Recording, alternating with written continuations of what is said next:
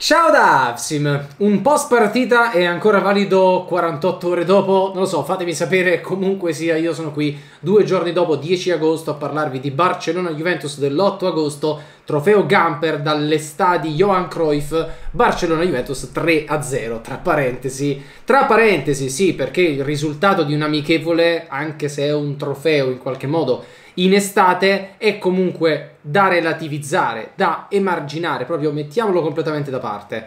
Beh, oddio, completamente no, non proprio del tutto, anzi contestualizziamo questo dato e vediamo di capire un po' se eh, questa partita, che è la terza amichevole della nuova Juve di Allegri, ci ha dato delle indicazioni un po' più chiare su quella che sarà la nuova Juve di Allegri. Beh, sicuramente c'è stato un minor utilizzo di giovani, e questo è un tema, e finalmente sono tornati alcuni giocatori che erano stati assenti nelle partite precedenti per il fatto di essere rientrati tardi dalle nazionali. Sono rientrati solo questa settimana, solo ad agosto iniziato, gli italiani e anche i brasiliani e sono scesi in campo praticamente tutti con minutaggio differente, ma è stata anche la prima volta che abbiamo rivisto Morata, che abbiamo rivisto Cristiano Ronaldo, che sono partiti titolari e poi sono usciti, o meglio Ronaldo è uscito al 45esimo. Una partita che appunto io vi racconto, vi commento momento in realtà a 48 ore di distanza perché non l'ho vista live, ero ancora in vacanza. Poi sono rientrato, quindi non l'ho recuperata il giorno dopo, l'ho recuperata oggi,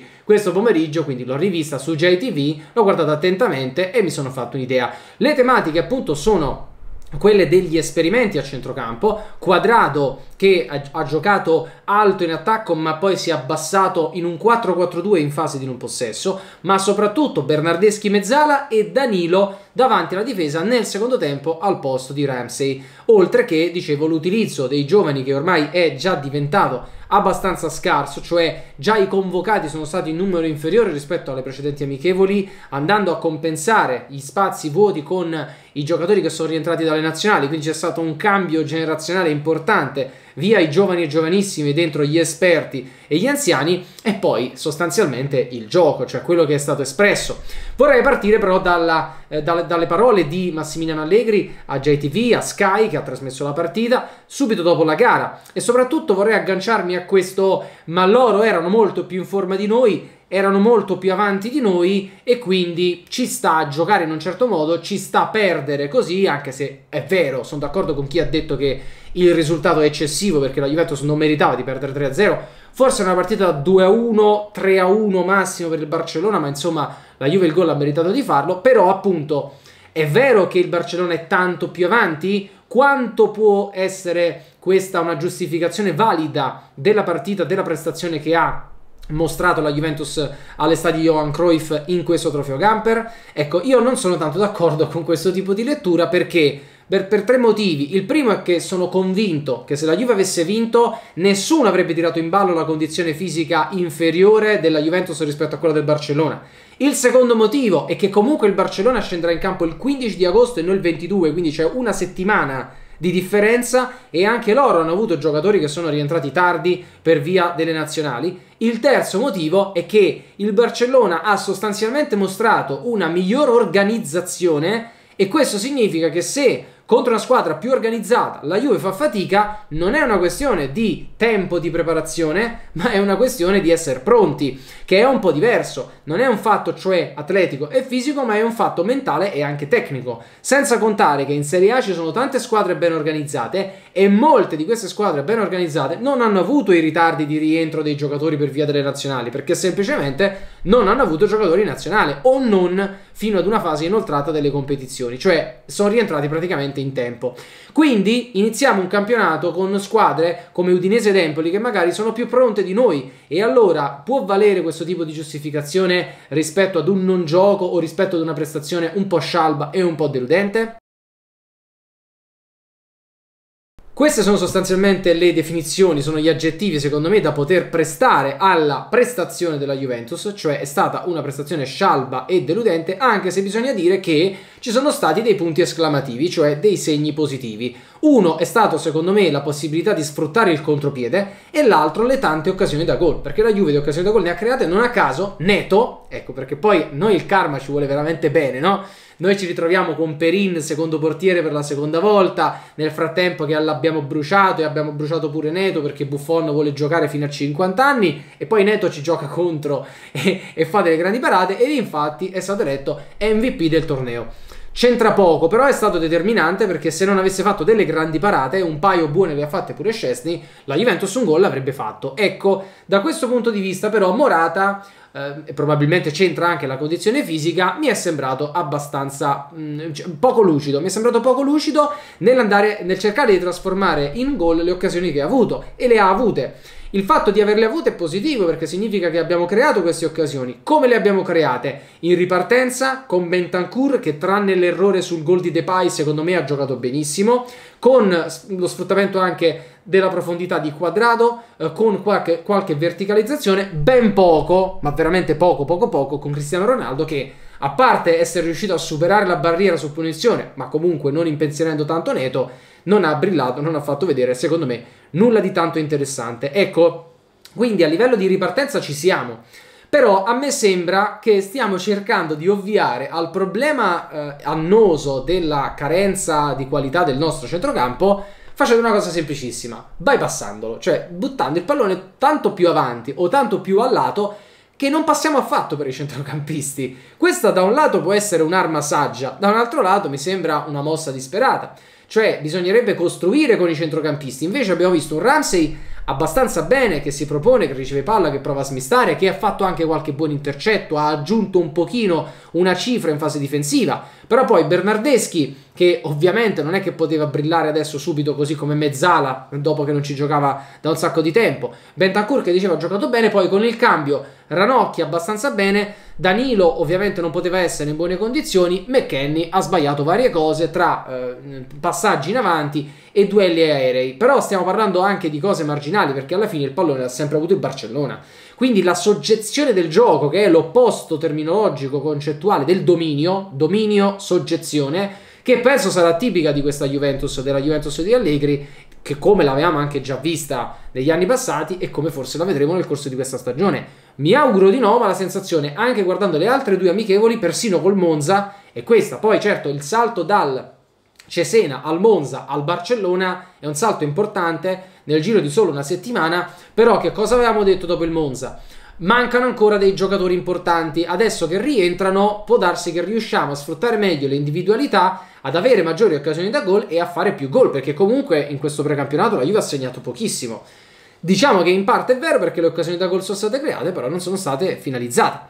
E quindi c'è questa problematica, secondo me, di, questo, di bypassare il centrocampo che non è una cosa tanto, ehm, tanto appagante, non è una cosa che dà tante garanzie e, e, che, e, che, in qualche modo ci rassicura, non è tanto rassicurante, perché invece bisognerebbe passare attraverso il centrocampo, sviluppare il gioco attraverso il centrocampo, poi il fatto che non ci sia pressing, il baricentro sia mediamente basso, non ci siano triangolazioni, non ci sia gioco di prima, non ci sia gioco veloce, sono caratteristiche per me negative, ma sono caratteristiche del gioco di Allegri, del gioco della Juve di Allegri che sapevamo che avremmo ritrovato Sinceramente sono sorpreso dal fatto che le abbiamo ritrovate con una velocità pazzesca, cioè sono, sono, hanno praticamente i giocatori già rimosso tutto quello che era stato costruito, anche se male, con Sarri e con Pirlo, e quindi c'è stata un'involuzione nel senso di tornare indietro, poi se sarà efficace lo vedremo, eh? non è che con un'involuzione non si può vincere, magari si vince lo stesso, e speriamo, però comunque un'involuzione totale, ritornando ad Allegri come praticamente ci aveva lasciato. E poi, come dicevo, c'è la tematica dei giovani. Ecco, i giovani in particolare, dove sono? Dov'è Sule? Dov'è Felix Correia? Dov'è Miretti? De Winter è entrato ma ha giocato pochissimo. Dov'è Dragusin? Sono spariti un po' tutti quanti. È entrato Marques, è entrato Ranocchi, è entrato appunto De Winter e poi basta. Con Marques che continua a non piacermi particolarmente, Ranocchia che invece è un'ottima mezzala e però chissà che destino avrà in, questo, in questa Juventus. Stesso discorso per De Winter, mentre a quanto pare Mattia Sule, Mattia Sule Sule Malvano, nome esteso, sarà aggregato all'Under 23. Ecco, questa cosa, su questo non sono assolutamente d'accordo. Poi, ovviamente, mi direte come la pensate nei commenti. E quello che penso io vale zero. Questo sempre, nel senso che è la mia opinione.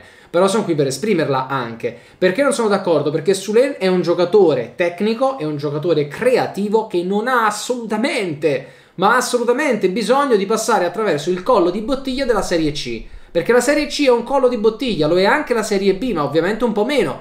Avrei accettato l'idea di un prestito di Sule in Serie B, ma neanche perché secondo me Sule deve giocare in Serie A. In questa Serie A soprattutto, molto meno imballata, molto più creativa, molto più mentalmente aperta, con allenatori bravi, con allenatori giovani che stiamo vedendo in questi anni, un diciottenne fresco come Sule può fare il titolare 20-25 partite, non necessariamente 38, le può fare in campionato con buoni risultati in squadre che hanno bisogno dell'estro, della creatività, di un campione in erba che ci mette la qualità lì davanti e ti cambia magari la partita con una giocata. Perché fargli fare la Serie C con l'Under 23? È, un, è, è sottodimensionato. Quanti dribbling può fare? Quanti, quante, quante giocate può fare in Serie C dove ti randellano dove si gioca sul fisico, dove la categoria è completamente diversa. È semplicemente come far fare dei quiz di logica in un concorso pubblico per impiegato statale dove la logica non serve a nulla. Magari qualcuno, a qualcuno non piacerà questo esempio, però è un esempio di vita vissuta perché, come sapete, tanti posti pubblici vengono assegnati con preselettive basate su, su quiz di logica o addirittura, ecco, come i quiz di cultura generale per entrare a medicina. È la stessa cosa, ti faccio fare la serie C che poi non ti servirà assolutamente a nulla, che non è assolutamente il tuo contesto. E senza contare che, ok, era stata giocata due giorni giorni prima un amichevole eh, comunque della, dell'Under 23 della Juventus, quindi alcuni, anzi molti, eh, sono stati, dei giocatori sono stati chiamati da Zauli e quindi non potevano magari andare a fare anche il trofeo camper e non avevano bisogno neanche perché dal punto di vista della sgambata, dal punto di vista del mettersi in forma eh, fisica, stavano già bene. Però purtroppo era un po' quello che ci aspettavamo, cioè questi giovani lanciati un attimo poi sono stati subito tirati indietro, sono stati subito richiamati. Ecco, che destino ci sarà? Sarà, quali saranno i giovani effettivamente utilizzati da Allegri in questa prossima stagione? In attesa della chiusura del mercato, con gli ultimi colpi, per modo di dire, vabbè, stiamo aspettando Caio Giorgio siamo contenti. Poi la chiusura dell'affare Locatelli in settimana, forse. Pjanic che è sempre lì come ombra che incute timore, che incombe, il rinnovo di Dybala che è discorso a parte perché Dybala sarà comunque un titolare della Juventus di questa prossima stagione e il tutto osservando anche, e, mi, e chiudo brevemente, la prestazione dei giocatori che magari sono rientrati perché Dicevo prima, colpa di Bentancur sul gol di Depay. Ovviamente se la sono presa tutti con Rugani perché Rugani è scivolato. A mio avviso, se Rugani non fosse scivolato, non sarebbe stata comunque, eh, non sarebbe comunque cambiata l'azione perché lui si è mosso abbastanza bene, forse non stringendo bene gli spazi, ma comunque si è mosso bene seguendo il suo uomo, mentre Bentancur ha lasciato completamente il suo uomo libero di agire. A quel punto Delict si è trovato scoperto da Rugani che aveva rotto la linea e da Bentancur che non aveva seguito l'uomo, si è trovato in mezzo a due, è dovuto salire, il giocatore Depay non è andato in fuorigioco e a quel punto era gol. Quindi colpa di Delict ma indotta probabilmente più da Bentancur che da Rugani. Poi abbiamo visto De Sciglio sbagliare un, be- un paio di cose abbastanza sanguinose, Pellegrini regalare un calcio d'angolo e poi dimenticarsi completamente la marcatura sul 2-0 e quindi anche lì, insomma, come ha giocato Rugani, non certo, certamente non ha convinto, la coppia Delict-Rugani non ha convinto, nonostante tra l'altro i due siano amici nella vita privata, Michela Persico e Anneke Molenar escano spesso insieme, questo per chi segue eh, le vicende Instagram dei calciatori e quindi devono affiatarsi di più, ma è chiaro che Rugani in questo momento è un downgrade rispetto a Demiral. Eh, De Sciglio, eh, è, è De Sciglio, lo conosciamo, è quel giocatore pulito, quel giocatore eh, tutto sommato ordinato, eh, in, anche intelligente, ma non è un giocatore di qualità, non è un giocatore che ti fa fare il salto di qualità, non è un giocatore che ti fa la giocata, ed è un giocatore che ti si distrae anche a volte in fase difensiva, oltre a non spingere bene, non essere efficace in fase offensiva. Sta facendo un gol pazzesco, eh. Stava facendo un gol pazzesco, ma De Sciglio in carriera non ha fatto neanche 5 gol, se non ricordo male, quindi non è che puoi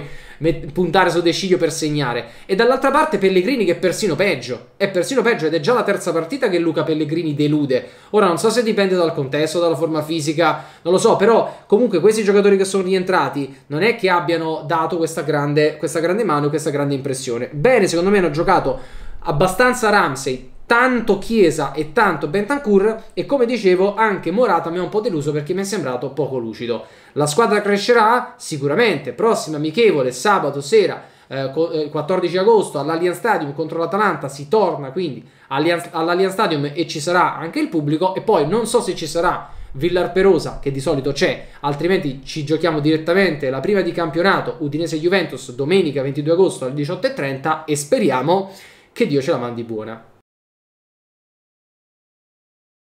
Grazie per l'attenzione, buon dibattito nei commenti su Barcellona Juventus 3-0, anche se due giorni dopo, ma in generale sulle vostre sensazioni a questo punto dopo tre partite eh, di precampionato di questa Juventus. Like al video se vi è piaciuto, iscrivetevi al canale e attivate le notifiche per non perdere il resto della mia programmazione e abbonatevi per tanti vantaggi speciali tra cui le chat riservate sul mio server Discord. Tutti i link sono in descrizione, ci vediamo molto presto e sempre forza Juve!